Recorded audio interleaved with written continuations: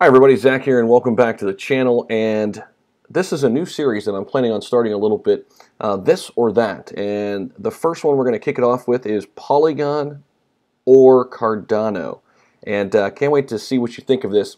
Definitely want to hear from you at some point after you watch this video down in the comments. Give me a minute too. I'm going to hold most of them for review, then I accept them just to keep all the, you know, you know what out of the uh, comment section. But um, yeah, this is something I'm planning on doing a little bit more of. Let me know your thoughts of this if you enjoy it. And we're going to kick it off with this one, Polygon versus Cardano. If it's your first time to the channel, welcome. Uh, hopefully you get some value here. I think you will. And give this video a thumbs up and subscribe to the channel. And if you're coming back for a second time, third time, or you've been here many times before, so happy you decided to come back to this channel and get some content and get some value. So let's get into it. Polygon versus Cardano. Which is a better investment?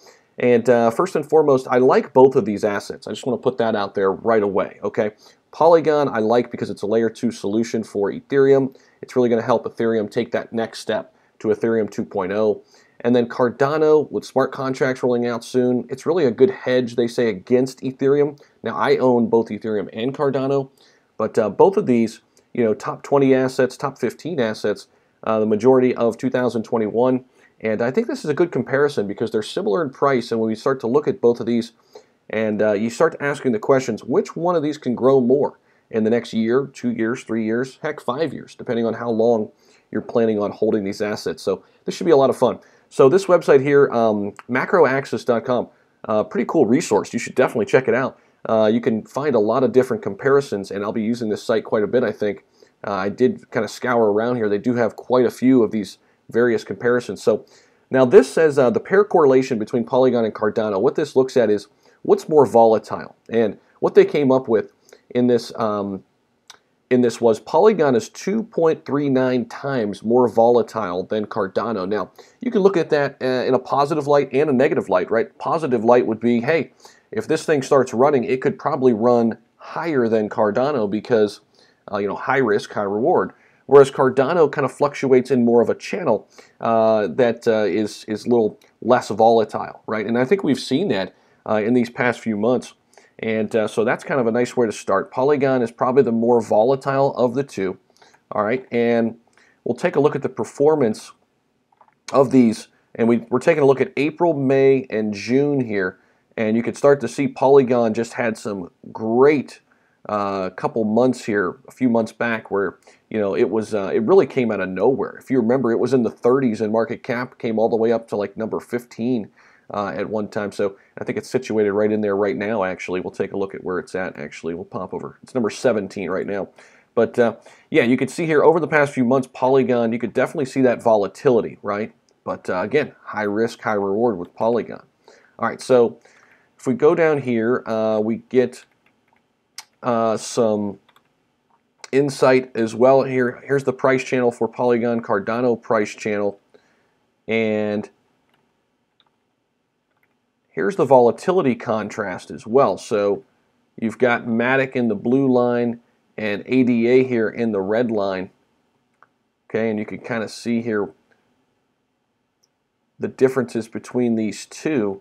Now, pair trading with Polygon and Cardano, the main advantage of trading using opposite Polygon and Cardano positions is that it hedges away from unsystematic risk. Because of the two separate transactions, even if Polygon positions position performs unexpectedly, Cardano can make up some of the losses.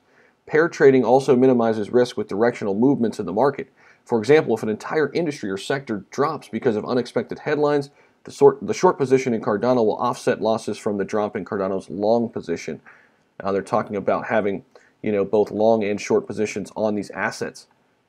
So this is kind of a cool tool, and uh, we'll continue to use something like this. Now, what I want to do here is now jump into Polygon itself and where we're at right now. So it's down about 5% right now, under a dollar. First and foremost, love Polygon under a dollar here, okay?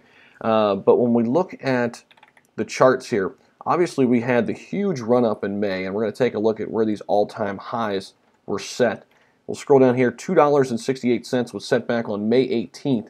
So we're 63% off the highs. I do think in the short term here, the next bull run, we can set new all time highs. Now, can we get all the way up to a $5 number? I don't think so. Not yet this year. Now, when I look at Cardano here in the short term, it's $1.29 right now, down a little bit. We'll take a look at its all-time highs, where they sit is about $2.46, which is very similar. That's why it's kind of interesting to compare these. 246 and 268. So Polygon has actually been higher than Cardano. However, in the short term here, where could Cardano go? I think Cardano can 5x, meaning I think it can get to $5 and probably higher, uh, simply because it has a big catalyst looming in the form of smart contracts come fall and September. So if you're looking at from now until the end of 2021 and you're trying to decide which one should I put some money in right now leading up to the end of the year, I would probably have to say Cardano. If you're looking for one for the long term, that's where the question gets a little bit more interesting. And we're going to take a look at some of the price predictions, and maybe that'll help us inform some of our decisions. Again, hopefully you're enjoying this, this or that. Uh, if you are, give it a thumbs up. So Cardano price prediction, we're going to take it out to 24.25, okay? And uh, this is crypt Cryptona.com, and they give you a, a bunch of different price predictions here, which is pretty cool. So they're saying after starting at 2024 at $3.58. So this is pretty bearish because I'm thinking we can get to $5 here. ADA is expected to rise to 406 halfway through the year. The second half of 224, uh, 2024 is expected to be slower. See the price of Cardano end the year at $4.06, okay? Now, if that's the case, we'll take a look at uh, the same kind of time frame here for Polygon. Again, some different resources, but it gives us some idea, okay? This is digital coin price. So if we look at 2024, they're saying we're going to be right around those all-time highs numbers, $2.54. Uh, now, they did not think we'd get you know, up there here in 2021. Take a look at this. They had us at $1.40, and we got all the way up to, what was it, $2.68. Okay, so uh, as you can see, these are just projections, but if they, if you take a look at this steady growth, by 2025, this says we get to $3. Maybe just double this to give it somewhat of a number here, and we'll say maybe this gets to $6, okay, just give or take. Uh, if the market continues to be a little bit more um, on the up and up than these projections. So we'll say six here, and then we'll, we'll double the Cardano price prediction here. So maybe $8. So you can see uh, there's a lot of different ways you can kind of go about this. Again, I think the big takeaway in this, this or that is Polygon is more risky, but again, high risk, high rewards. Cardano is situated nicely in terms of where it is in the market cap as well. It's number five in market cap. You can see here, that's another big metric you want to look at. Uh, and that's why it's less um, volatile, right? It's got a $41 billion market cap, where Polygon has kind of rebranded itself, right? Polygon used to be just Matic. Uh, it's still Matic, uh, the ticker symbol. But they're a much lower market cap. They're still in the billions, uh, but they're a $6 billion market cap compared to a $41 billion market cap. Now, you don't necessarily have to pick one or the other either. I'm invested in both, and I'm going to tell you where I'm at with my positions. Right now, I hold more Cardano than Polygon.